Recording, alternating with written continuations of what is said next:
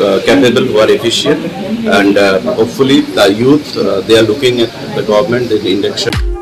এই হচ্ছে ABC news AGT live ये है ABC news AGT live Listen to NBC News, Digital Live.